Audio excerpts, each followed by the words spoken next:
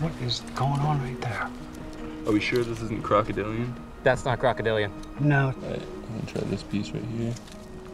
I'll go in from the top and then twist up and it separates on right on that line. Oh, that's skin right there. That's actually God. scaly skin. No, no, no, no, no. Look, look, look.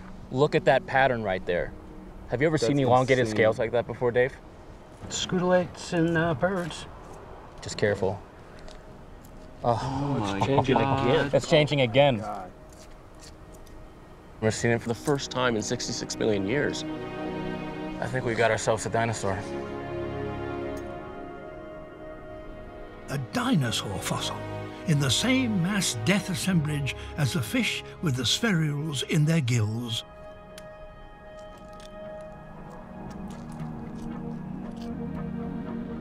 This is the most incredible thing that we could possibly imagine here. The best case scenario. We're excavating this mass death layer of fish from the surge sent up by the impact, and we've got dinosaur remains. The one thing that we would always want to find at this site, and here we've got it. This is unreal. I, I, I cannot process this in my brain. No, I am absolutely blown away by this. Just my heart is literally pumping out of my chest, wondering what is behind there. Just a couple centimeters back in the outcrop. What is waiting for us back there?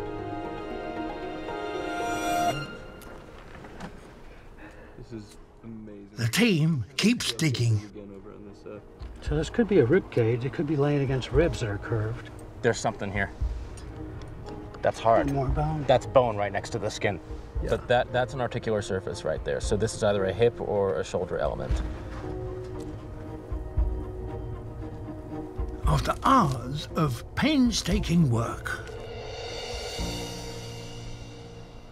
And we can go from the thigh of the animal. There's the knee, and then you've got the little calf muscles of the uh, dinosaur. They're bulging out, and you go down to the ankle bones, and these are the toes of the feet. We've got nails at the tips of the toes. It's a beautifully preserved leg, all articulated, covered with skin. The complete leg of a dinosaur. In my wildest dreams, I never expected to find a dinosaur leg in this deposit. Yeah. I mean, and then it's got skin and tissue. It does look just like a drumstick. It looks like a Thanksgiving turkey just laid out in the ground.